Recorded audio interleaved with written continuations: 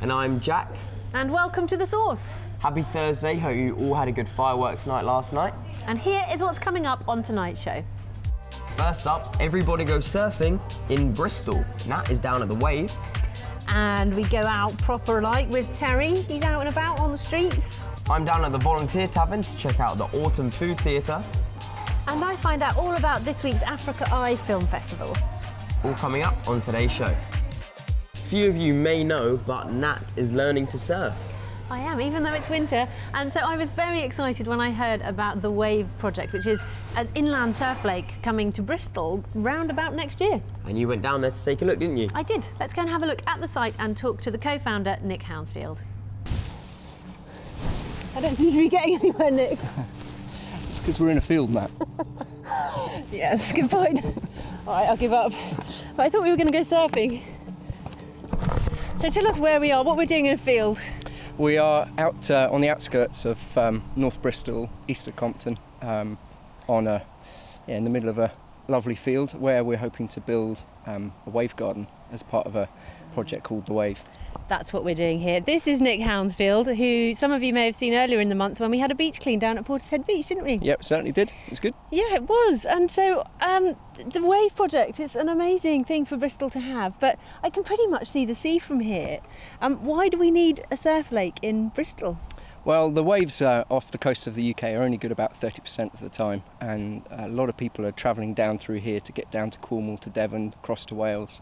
Um, and there's a fantastic uh, scene here for surfers, outdoor recreation. And we figured it's the perfect place, apart from being our hometown, uh, it's the perfect place to bring a project like this. Mm, congratulations. So you got planning permission, didn't you? Yeah, from we got, South Glos Council. Yeah, we got planning permission back in July, um, and uh, yeah, we're now just back in with investors and getting ready to do construction probably about January time.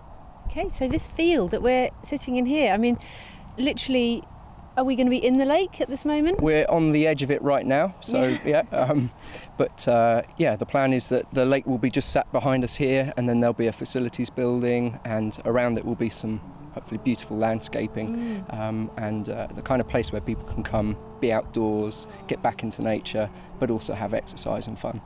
And that's a good point. I mean, we are in a really beautiful field, and uh, you know how, what is the impact on, on nature and on the environment of the project? Yeah, well, we did uh, a, a, a really in deep, in-depth uh, study on all the land around here. And it's actually fairly low impact in terms of the ecology that's present here.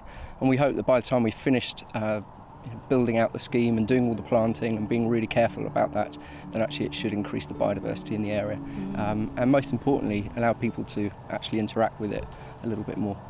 Yeah, so I've seen some of the plans because on your website, um, remind me again of the, the website or for anybody that's yeah, watching. Yeah, it's the wave, thewavebristol.com. Yeah, so yeah. And, and on there people can see uh, the plans for the site. And yeah, absolutely. Yeah, because yeah. it, it, really does seem to be very in hum- harmony with nature. It's it's quintessentially a, a, landscaping project with a lake in the middle of it rather than some big um, hardcore development. Um, it's minimal impact in its design and its build, and that's part of the, the the uh, proviso of the planning application is to make sure we're having as little impact on the environment whilst maximising the economic uplift and social uplift of the area. Mm, amazing. Yeah. So, uh, bringing jobs to the area? Yeah, all jobs will be created locally um, and also trying to tap into local supply chains uh, using Bristol companies uh, across the whole piece. Yeah. Mm.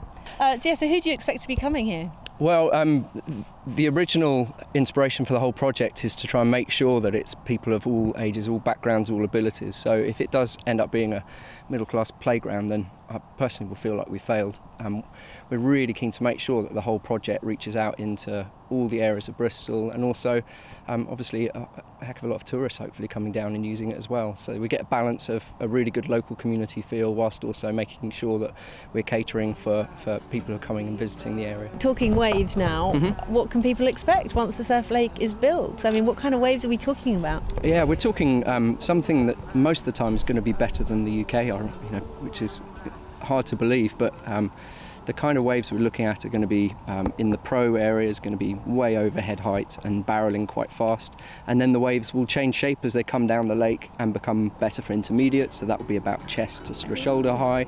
And then by the time it gets into the beginner area, it will be sort of more about knee high. So there should be something there for people of all abilities. That's amazing. Yeah. So the wave just caters for different sort of abilities As it comes down along the lake. As it comes down the lake, yeah. That's really good Yeah, news. yeah. And when you say barreling, is that where the wave kind of curls over and you can go in like a tunnel in the tube? Yeah, absolutely. Yeah. So it, it, it's it's the kind of wave that a surfer like me could only dream of getting once in a blue moon in the UK, or you're having to get on a flight and go to somewhere, you know, um, quite remote to go and get them. Yeah. That's amazing. Yeah. Mm-hmm. So dates wise, um, can I can I sort of pester you into some dates? Of Yeah. When, when are we going to get our the first dig and Yeah, I mean, first dig we are hoping will will be breaking ground in January time, um, and then ideally we'd like to have the lake element finished by October next year. So this time next year we should be surfing, um, and then by do a grand opening um, for the whole site in March 2016. So it'd be lovely to tie up if we can with Bristol Green Capital next year. In an element of it, but it'd be even greater if in 2016 we can show a proper legacy project which which does things Bristol fashion. fantastic? Yeah. Well, we really look forward to seeing it develop Cheers. over the coming months and year ahead, Mhm. and uh, following your story here on Made in Bristol TV. So Great, thanks very much, Nick. pleasure. And we'll put all the details up on the website. So if you want to watch its development and maybe even get involved, then um, we'll put all the details up there. So thank you. Great, thanks. Wow, that really does look like an amazing project, and we'll be following it as it goes, won't we? Yes, indeed. I can't wait for it to start. Um, now then, get your gloves on, get your hammers out. It's time for Terry, the odd job man. Welcome to Knowle West in Bristol, one of St Bristol's premier uh, council estates.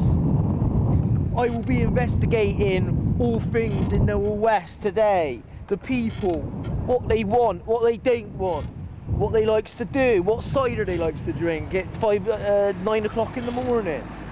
All things like that. So stay with I, because Terry is going power to the people.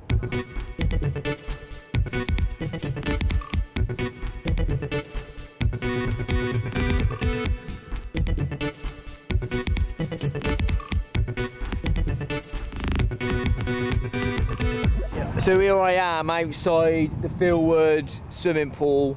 See, I thought it was open air, but it ain't because they did knock it down, and I thought there was like an oasis and all that, but it wasn't. It was a building.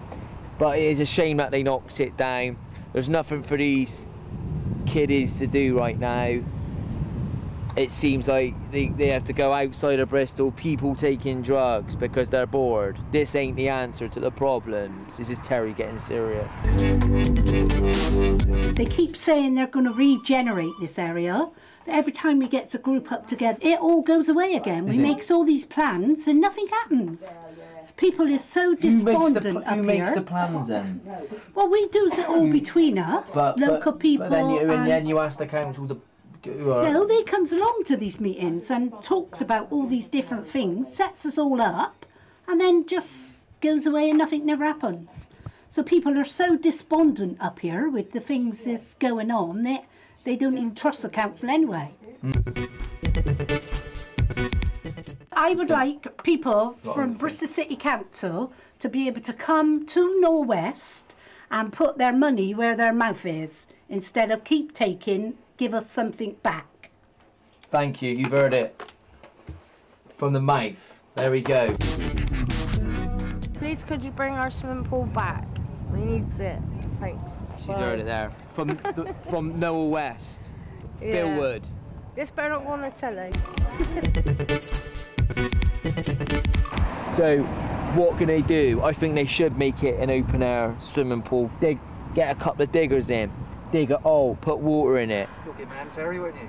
I'll give 'em a hand. I would, because I got tools in my van, and I will do that because it needs it in Knowle. Yeah. Do not look down on Knowle. Look up in the air at Knowle. Yeah. The people of Knowle have got a good heart and lungs. Their lungs are pumping air into Bristol and oxygen. Terry never fails to make me laugh. Me neither. He's brilliant. I love him. Thanks, Terry. Um, so that's pretty much it for part one of The Source today. But don't go away because coming up after the break, I find out about the Africa Eye Film Festival. And I find out about the Autumn Food Theatre. Don't forget to tweet us at Made in Bristol TV, hashtag The Source, or on Facebook, facebook.com forward slash Made in Bristol Television. We'll see you after the break.